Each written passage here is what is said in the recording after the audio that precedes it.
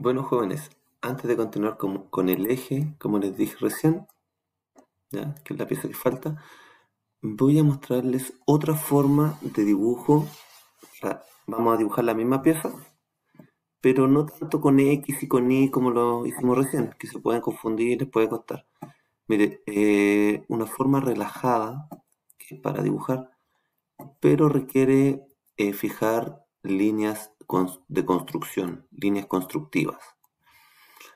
Es lo mismo, pero hay que hacer algunos pasos previos. Iniciar boceto, plano XY, pero antes de hacer la pieza, yo voy a hacer líneas, una sobre el eje X, escape, L. Con la L igual es lo mismo que apretar aquí, apretando la letra L. L,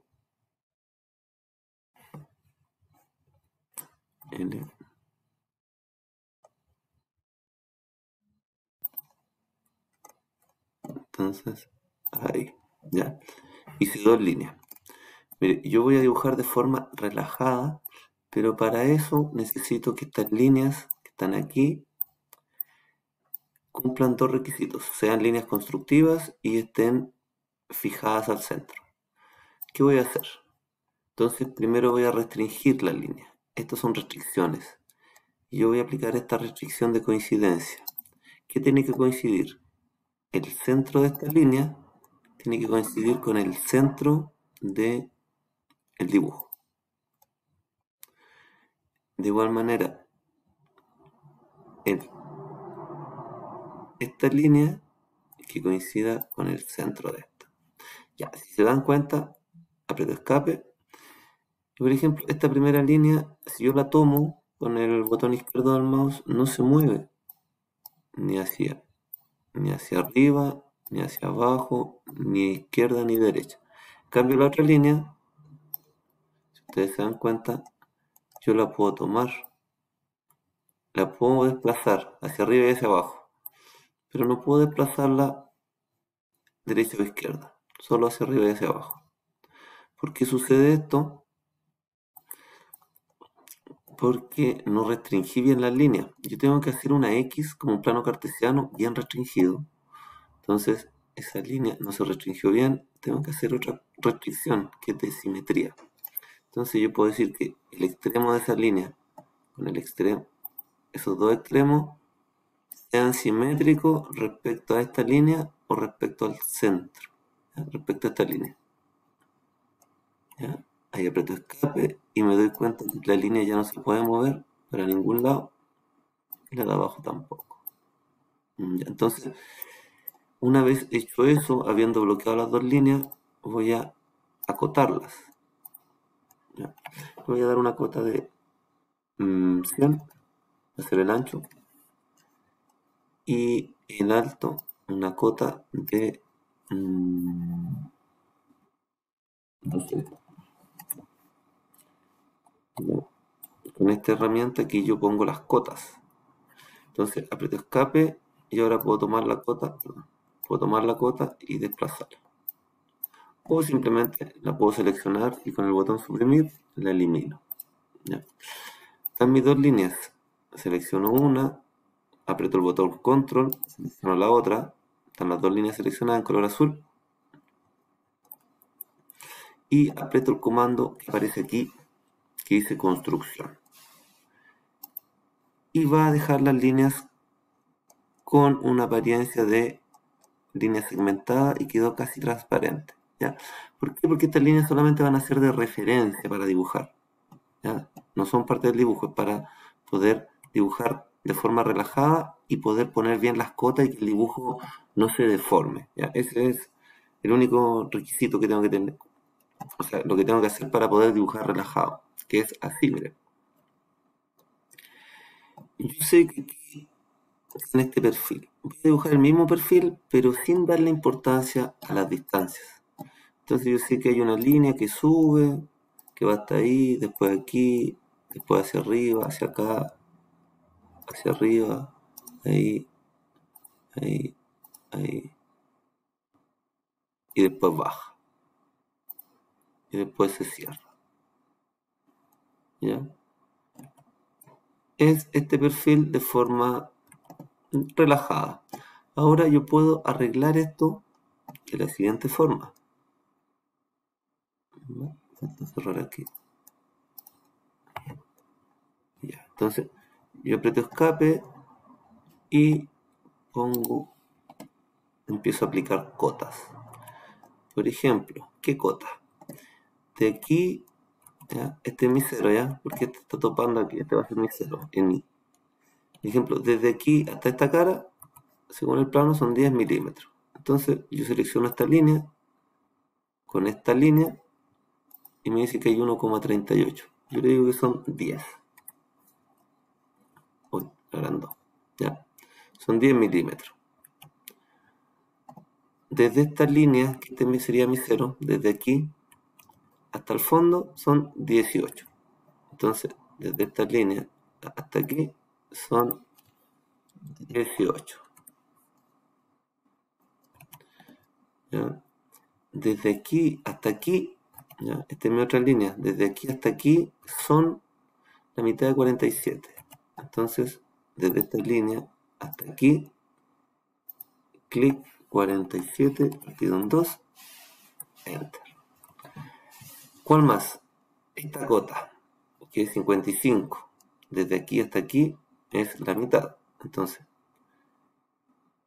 esta línea hasta esa línea es 55 dividido en 2. Enter. ¿Ya? ¿Qué otra me falta? 6 es el ancho de esa línea. Entonces hago zoom, selecciono la línea 6.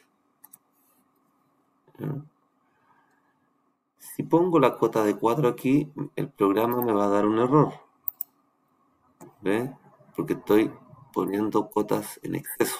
Me dice que estoy como sobreacotando. Entonces me la pone como cota simulada entre paréntesis.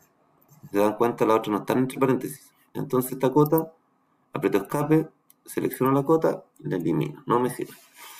Ya, eh, ¿cuál más me faltaría entonces? Ah, de aquí a aquí hay cuatro. Entonces, eh, cota, desde aquí hasta aquí son cuatro.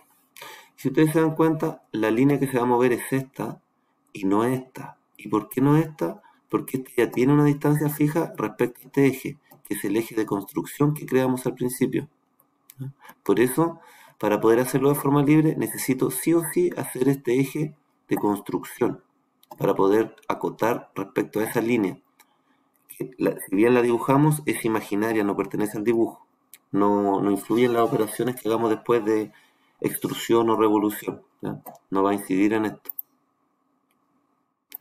entonces, eh, la cota era 4 y yo les decía que se va a mover esta línea, no esta, porque esta ya está restringida o está fijada por esta cota.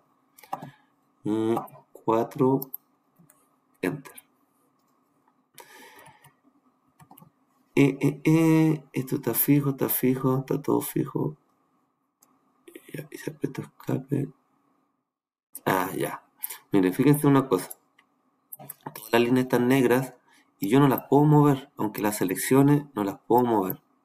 Sin embargo, hay una que sí puedo, que tiene otro color, esta, se ve de color morado, ¿ya? distinta, esta, esta yo las tomo y me aparece una advertencia, me dice, no, esta es paralela, perdón, perpendicular a esta. En cambio, si tomo esta línea, yo puedo hacer eso. ¿Por qué? Porque no está restringida. Entonces tengo que restringirla de la siguiente forma, con la cota, selecciono la cota, hago un zoom, entonces desde esa línea hasta la línea de centro son, aquí me dice que son 82, desde el centro hasta el borde son 41, es el radio, 41 y enter. ¿Ya? Y si se dan cuenta, escape, ya. Ahora todas las líneas están en negro y ya puedo seguir, porque si no, no se puede. ¿ya? todas las líneas en negro, incluida la de aquí abajo, que a pesar de que no tiene cuota ni nada, está en negro. Y ahí podría seguir con la siguiente operación. la siguiente operación que corresponde a la revolución. Entonces, en el, ejemplo anterior hicimos los radios aquí utilizando eh, el empalme del boceto. Lo vamos a hacer de la otra forma ahora para que vean que igual se obtiene el mismo resultado. Entonces, revolución a la figura que estamos viendo, seleccionar eje, vamos a seleccionar aquí como tengo una línea de construcción, seleccionar eje, como tengo la línea de construcción, puedo hacerlo directamente aquí. No sé si se alcanza a ver, pero como que se pone de color verde la línea. Entonces selecciono esa línea. Y me hizo la revolución, el giro completo. Yo le puedo cambiar el ángulo, por ejemplo, puede ser una pieza que sea solamente a 180 grados y en la mitad, o a 10 grados, 50 grados. No es necesario que sea completo. Puede ser simétrico, lo mismo que la extrusión. Pero en este caso nosotros queremos que sea completa. Y aceptar. Si se dan cuenta, aquí falta el radio, que está de 4. Entonces, vamos a hacerlo con la edición o las operaciones para las piezas, la figura en 3D. Empalme de 4. Aquí yo tengo que seleccionar solamente la arista a la cual le voy a hacer el radio. Aquí tengo otra opción. Aquí, de 4. Aceptar. Y aquí voy a tener que dar vuelta la pieza tomando la esquina del cubo. Siempre que yo quiero ordenar la pieza, puedo apretar la vista que quiero. Por ejemplo, ahí. O si no quiero esa, la flecha, esa vista. Si la vista no está derecha, yo aprieto en la cara y me la deja ahí. Ya, pero yo quiero buscar la otra vista, la posterior. Y quiero que se vea más o menos así. Porque ahí, en ese en esa arista, tengo que hacer un radio de 2, como se indica aquí. Entonces, eh, empalme de 2 en esa y ahí queda hecho. Y ahí tenemos la pieza con los dos radios. Y lo único que falta ahora es en esta cara perdón en esta cara crear las perforaciones 6 perforaciones que aparecen de diámetro 4.5 están a 70 entre sí o sea, a 35 desde el centro. Por lo tanto, voy a crear un punto solamente. Eh, ahí está el centro. Mm, tiene que ser hacia abajo, hacia arriba. Entonces, en I35 y en X0. Enter. Y luego modelo 3D, agujero agujero simple, sin asiento, pasante, de diámetro 4.5, aceptar. Y ahí está hecha la operación. Si lo quiero ver de otro lado, ahí está. Entonces, esta operación la quiero repetir. ¿Cuántas veces? 6 veces. 1, 2, 3, 4, 5, 6. El programa, delante utilizamos el patrón rectangular, ahora utilizamos el circular le iba a comentar que el programa detecta la operación que queremos repetir. En este caso, la perforación. El eje de rotación es 7. Yo puedo cambiar el número, número de perforaciones, perdón. Pueden ser 4, pueden ser 8. Y siempre las pone de forma equidistante, es decir, a la misma distancia. En este caso son 6. Igual puede ser a menor a 360 grados. Pueden ser, por ejemplo, no sé, 200 grados.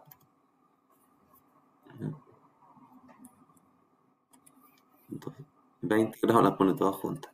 Entonces, esto es 360. Y son 6. Aceptar. Y ahí está la pieza hecha. Como vimos, de una forma más relajada para al momento de hacer el boceto del primer boceto, de este boceto.